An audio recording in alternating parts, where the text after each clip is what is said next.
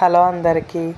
ఈరోజు నేను పప్పు అరటికాయ టమాటో కర్రీ అనమాట సింపుల్గా టేస్టీగా ఎలా తయారు చేసుకోవాలో చూడండి. దీనికి కావాల్సిన పదార్థాలు.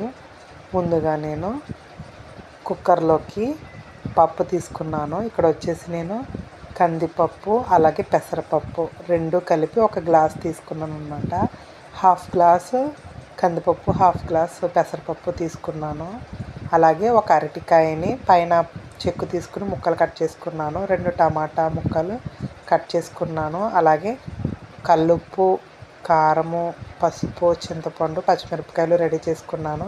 ఇక్కడ వచ్చేసి నేను పప్పుని శుభ్రంగా కడిగేసుకుని ఒక గ్లాసున్నర వాటర్ వేసుకున్నాను. ఆ తర్వాత ఇందులో కట్ చేసుకున్న అరటికాయ ముక్కలు అలాగే టమాటా ముక్కలు చింతపండు ఉప్పు కారం పసుపు పచ్చిమిర్చి వేసుకున్నాను.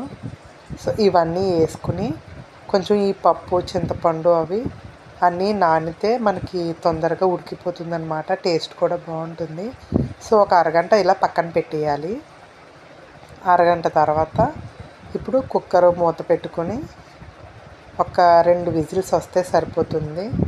మనకి పప్పు ఉడికిపోతుంది రెండు విజిల్స్కి.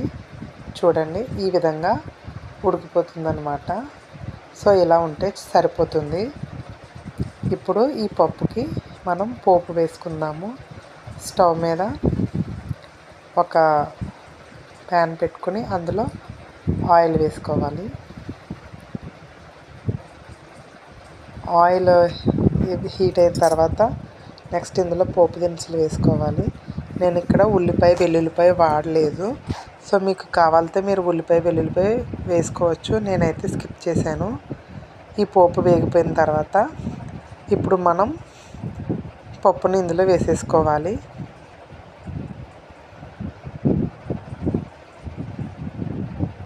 సో అంతే ఫ్రెండ్స్. కార్తీక మాసంలో కానీ లేదా ఉల్లిపాయ వెల్లుల్లిపాయ వేసుకోకుండా వండుకోవాలంటే నెయ్యితోటి నేనైతే తాలింపు పెట్టాను. చాలా బాగుంటుంది. మీరు కూడా ఒకసారి ఈ విధంగా ట్రై చేసి చూడండి. చాలా కమ్మగా టేస్టీగా ఉంటుంది. వేడివేడి అన్నంలో ఈ పప్పుతో తింటా ఉంటే చాలా బాగుంటుంది. మీరు కూడా ఒకసారి ఈ విధంగా ట్రై చేసి చూడండి. ట్రస్ట్ మీ చాలా బాగుంటుందన్నమాట ఈ పప్పు. Okay friends thank you for watching